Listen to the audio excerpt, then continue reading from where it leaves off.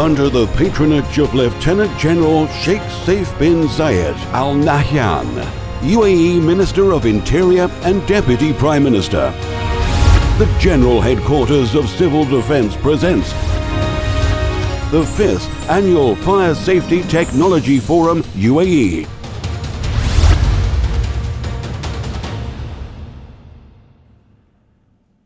Uh, my name is John Coates. I own a company that's based here in Abu Dhabi called Global Responders Group. Uh, we are petrochemical and industrial risk management consultants and specialists in the field. I have a rich background in the Middle East. Uh, most recently, I was with BP for 10 years in Baku. Based in Baku, I was a subject matter expert for emergency response in Azerbaijan, Georgia, and Turkey, and set up the initial response for Basra uh, for the BP operations in Ram- Rumaila. Prior to that, I was here on Das Island. Uh, I was brought in to replace John Nemo uh, before BP poached me for Baku, and I was on uh, Das for a year and also spent five years in Saudi Arabia. I started in industrial firefighting. My, my claim to fame is starting in industrial firefighting I was a fire protection consultant for Jack Daniels Whiskey. We protected uh, 60 million gallons of exotic fluids. Hazmat team with six guys with a straw. All right, so what I'm talking about, what they've asked me to speak about, is lessons learned. And we've all seen there's been quite a few major incidents in, within the industry over the last 10 years. In fact, incident rates overall are decreasing, but the sizes of our incidents are increasing. Uh, this is a chart that shows over the last couple decades how our incident rate per, per person has actually declined, and yet we're still having uh, incidents like Deepwater Horizon, Buncefield, major incidents. So we need to learn the most important thing we can do is understand the learning that comes out of that. Eric just talked in depth about uh, lessons learned.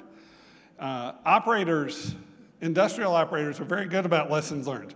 As responders, I don't find us as good uh, in, in applying the lessons, and that's one of the reasons why I'm up here talking today.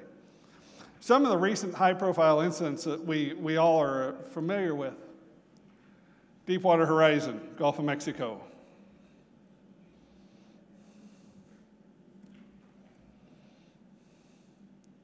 Buncefield. It's been brought up two or three times already today.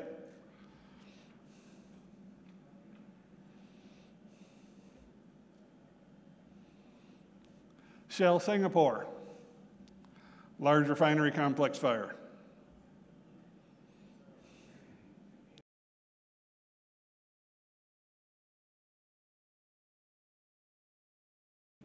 Texas City ISOM explosion.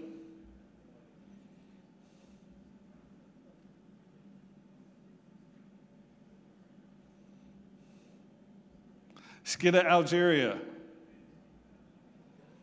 Skikda. Impact. So, Deepwater Horizon took place in 2010.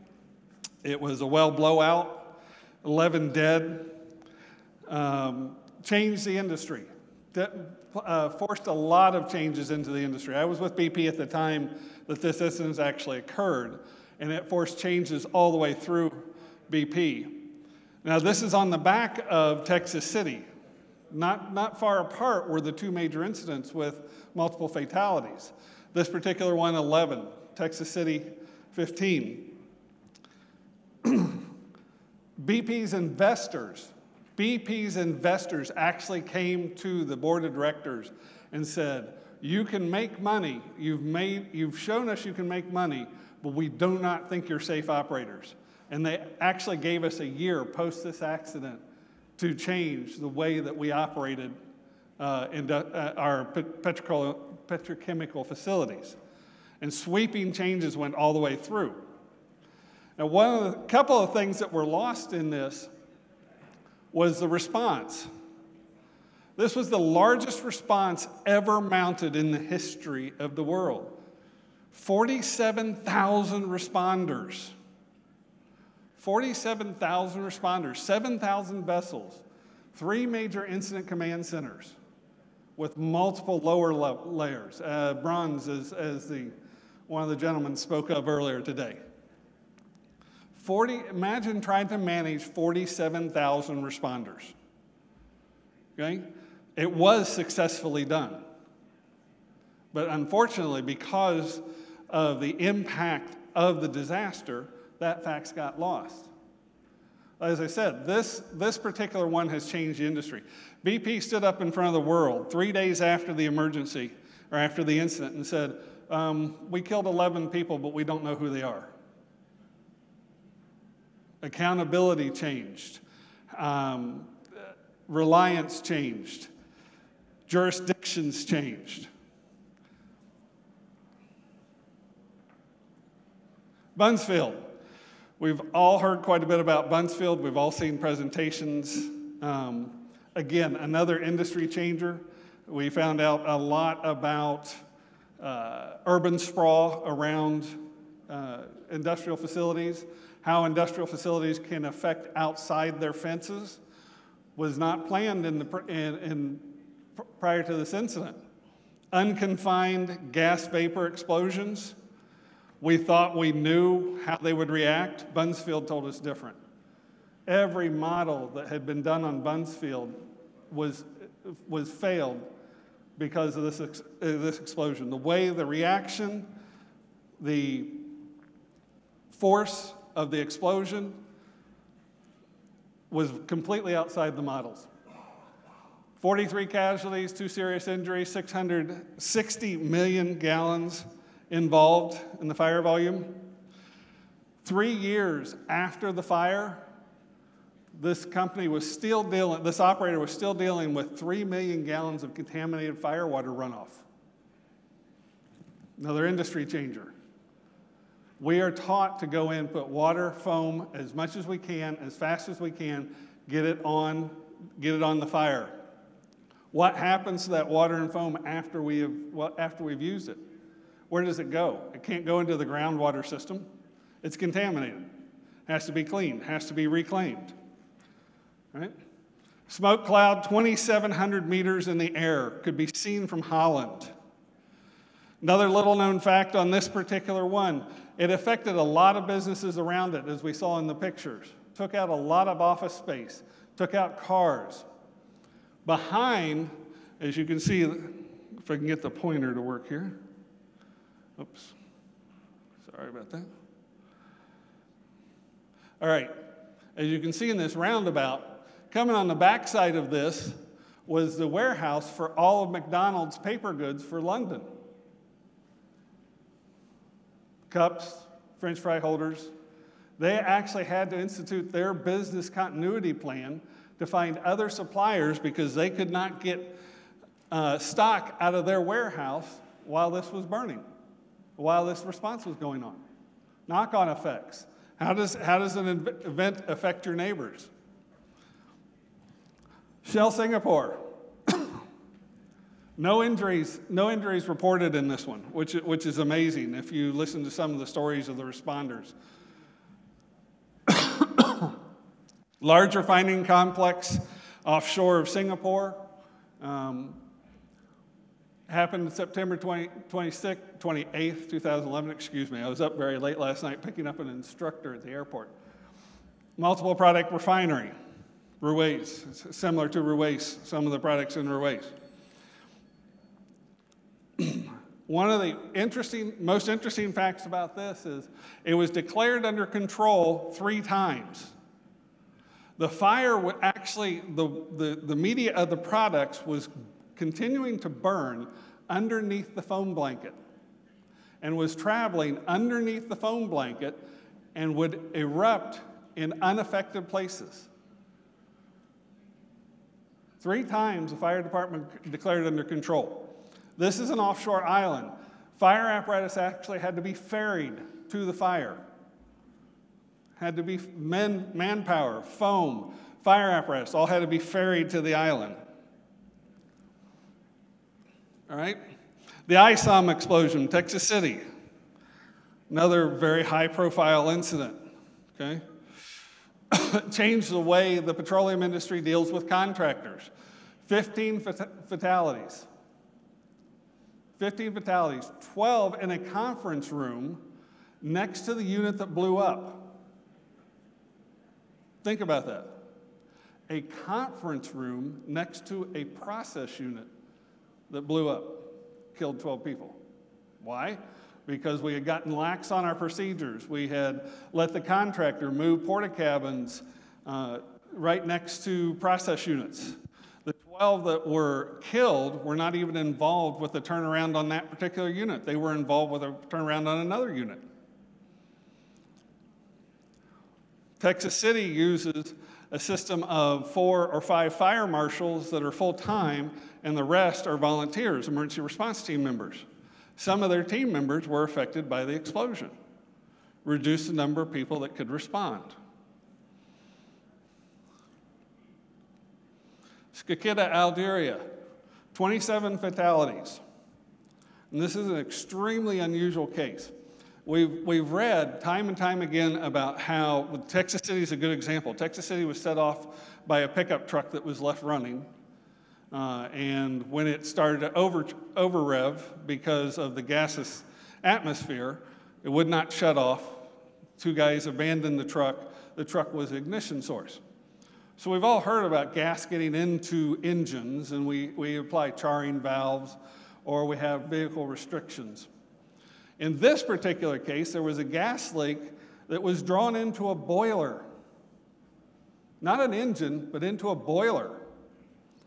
And a boil, the boiler, if you can imagine, it's like the inside of an oven, drew that gas in, set off the ignition, initial explosion, set off explosion after explosion after explosion. 27 fatalities, three process trains completely destroyed, facility out of commission for a year, shut, also shut down the refinery next door to it. Debris was found two, two miles away, which would be what? Almost five kilometers. Debris from the explosion. Lesser known accidents that are devastating. I'm going to talk about Pemex uh, and some of the incidents they've had. Uh, the Caribbean Petroleum Corporation, Jaipur Oil Depot in India. All right, so this is a natural gas distribution facility that experienced a catastrophic failure of a valve, subsequent ignition, and explosion. Happened in 2012 uh, near the Texas border. The, uh, again, maintenance was, uh, they contribute the cause to maintenance it was actually uh, equipment condition, no permit in place. 29 fatalities in this particular case. Uh, one of them was run over by a vehicle as he was exiting the facility. He was so scared by the, by the explosion, he went over the wall, out on the highway, got run over by a vehicle. Okay? Collateral, collateral injuries. 46 additionally injured.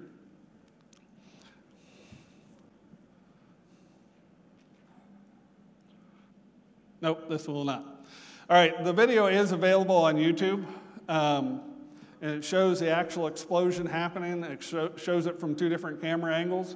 It'll show you the debris pass. Uh, and the unfortunate thing is, is on the back end of the video, it actually shows you the different the difference characteristics of flame patterns between jet jet uh, fires and liquid fires. This is the aftermath. I don't know if we can. Let me see. All right, if you look at this truck right here, it's coming through the facility. The explosion actually happens right here. That's what remains of the truck. There was no remains of the cab at all, and the two people inside. Um, unexpected effects of this particular incident uh, closure of the highway. That was not planned. The explosion took out part of the highway. They could not get responding vehicles in closure, uh, restrictions of airspace because of um, smoke. Control of the fire actually took Mexic- the Mexican military because it overwhelmed the local fire team. There had not been enough resource planning uh, and they had to evacuate an area of over five kilometers. Shut in the wells. The blast caused a shut in of the wells. Now, anybody in the petroleum industry un- understands that once you shut in a well, you may or may not get it back. So that can be, have a very devastating effect on the business. Uh, neighboring, neighboring facilities were affected. There was no accountability for the contractors, none whatsoever. There were 20 contractors, uh, the, of the 29 killed, 20 were contractors, and Pemex didn't know who they were, how they were involved, why they were even on the property until much later. Pemex has had a, a, a spate of uh, security issues with hot taps and their pipes being tapped. We had, the, we had the same issue up in Georgia with BP. So they put in extra security measures. The security measures had a knock on effect of people could not escape the facility. Several of the fatalities were caught at the security measures and uh, captured in the overpressure waves. Inadequate permit to work system. Pemex has had a history, a very long history of incidents. In 2010, they killed 28 people uh, in a pipeline explosion. 2011, a refinery explosion. This one in 2012 in the natural gas distribution. And they just recently had another refinery explosion that killed three more. Caribbean Petroleum Corporation. Dates, significance dates. Initial, explosion, initial ignition and explosion happened on October 23rd. Extinguishment happened on the, uh, the 25th. Evacuees were kept away from their homes until the 27th. And later, uh, the following year, the company had to file bankruptcy because of the, because of the incident. One of the reasons I brought this one up particular because it, it, there's a lot of similarities with the configuration of Fujairah. It's located in Puerto Rico. It's a multi-product uh, uh, refinery and storage facilities, 48,000 barrels of crude a day plus 40 storage tanks. Has multiple different product lines. So fuel leak, un- unconfined vapor cloud finds an ignition source, sparks off a explosion that measures 2.8 magnitude on a Richter scale. Casualties, there were three officially reported, um, but as you can see, as you, as you research through the material, there were a lot of unreported injuries, such as drivers having windows blast out of their car, uh, two people at the local army base were actually injured from the pressure wave, uh, and four people went to the hospital for respiratory problems. Response time, there was no site response. Now we're going to look at the facility here in just a second. There was five people at the facility at the time, of, so there was no site response whatsoever. Explosion happened at 1223. The first call because of the evacuation, the five, there's only five people there, they all left. So 911, the, the Puerto Rican version of 911 did not get called until four minutes later. So there was a delay there. Two local fire stations uh, responded. The, the civil defense commander there saw what was going on, called all, uh, an island wide response uh, emptied all the fire stations on the island, including the airports, which caused the closure of air traffic by FAA. You don't have protection for airplanes coming in, they will not let the planes, the planes land.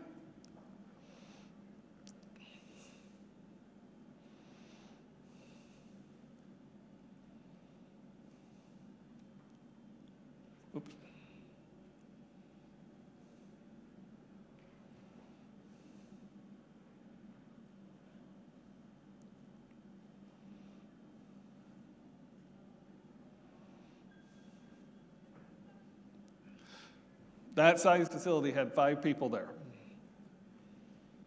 No control of work. All right, unexpected uh, effects. Closure of the airports again. Uh, not from smoke, although there was restrictions in airspace because of the amount of smoke, but closure of the airports because there was no fire protection. Again, these were FAA facilities. If under FAA rules, if you don't have proper fire protection for inbound planes, then the planes cannot land. Vessels were restricted to, uh, in and out of the ports. Puerto Rico was basically shut down from the outside world. thousand, were, thousand plus were evacuated, schools were closed, and closed the uh, local army fort. $500 billion lawsuit was filed by a local community, and the corporation ended up going out of business, filing bankruptcy. Should you plan for your emergencies? All right? So, no site response team. Water supply was inadequate for the hazard. They did not have their planning complete at all. Uh, in this particular case, another overfill like Buncefield, uh, and the ISOM unit, a level gauge was uh, unreadable, out of calibration. That's what they put the root cause as. Uh, and effects on the outside uh, community and, and facilities was not expected. Only got a couple minutes left. Jaipur, India. Distribution facility, no production, only maintained liquids, hydrocarbon liquids for distribution to local uh, retailers. Uh, the ignition happened uh, on October 29th. It was not ex- uh, extinguished till 11 days later. Uh, it was located in the Indian, Indian state of, uh, have some help here, Rajasthan. Is that correct? Rajasthan? Okay. Um, that's a product inventory at the time. There, uh, the, ca- the capacity of the facility was much larger, but they had uh, brought their, some of their liquid levels down, or it could have burned longer than the 11 days it did. Uh, improperly installed valve. Uh, they were doing a hammer blind. Uh, it did not work. Gas, uh, gas released large actual liquid release. Liquid vaporized, the gasoline vaporized. Uh, it was motor spirits. Uh, they thought they had it under control, did not, found an ignition source, and the initial blast measured 2.3 on the Richter scale. The initial blast, there was so much liquid on the ground, the initial blast took out nine of 11 tanks on the property. There were two subsequent explosions. Um, the involved the, the remaining two tanks, and overall, during the whole course of the 11 days, there were six explosions experienced.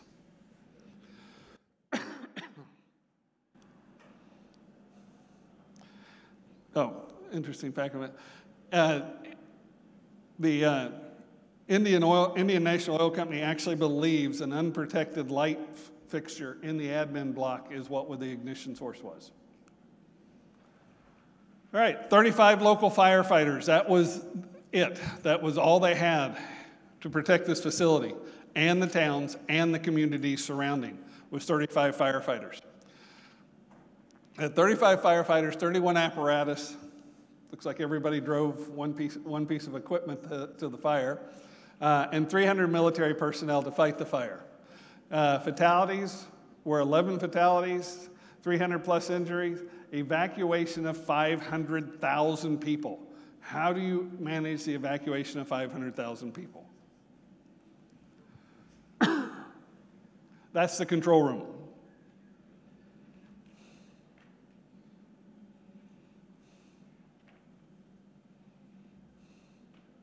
That's the fire pumps. Much like Buncefield, the first casualty of the Buncefield explosion were the fire pumps because of their location? Are we locating our equipment in the proper place? We go out and look at our facilities. Okay? Um, are, are the fire pumps in a protected location or are they in a convenient location? Fire pumps here were in a convenient location. Fire pumps after the explosion were unusable. Same thing with Buncefield. Buncefield took out the fire pumps and their fire water supply.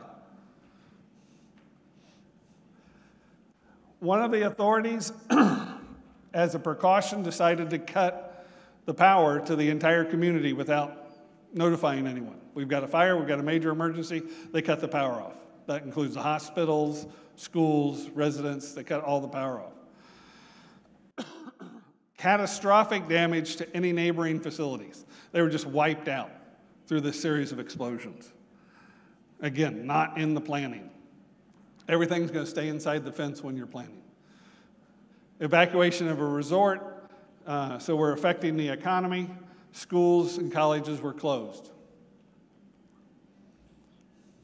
The terminal ended up being closed. Nine company officials were brought up on criminal charges. One of the first times in India. Nine company officials were brought up on criminal charges. Okay, control room was completely unmanned. The person that was supposed to be there did not show up for duty. no site response. Cooling water system didn't work, obviously, as you saw that. Foam system did not work. Portable gas detection was not available, did not, did not uh, register the um, gas cloud. Uh, facility was not prepared for an event of this scale. One of the operators actually said, This could never happen here. And he actually said that after the explosion. All right, so the past is where we learn, the future is where we apply. I always like this statement don't give up in the middle. We know where we're going, we know where we are. How do we get there? So, lessons learned industry is very good, operations is very good on picking up lessons learned. I think personally, uh, from the emergency response and industry, tends to be rather slow at picking up these lessons. Now, there's obvious exceptions to the rules, we saw some really good slides just a while ago. But industry as a whole is slow on picking up emergency response lessons. Okay? Examples fire pump locations. Go around to local industry, see if they are next to an LNG sphere or storage tanks. Is that where your fire pumps are located? Availability of fire water. As Eric goes around the world, the first thing he looks at is fire water. Okay, if I've got a tank I've got to put out, where's the water coming from? That's a big thing. Contaminated fire water, new, th- new thing that we're learning. What do we do with this? How do we clean this up? Accountability.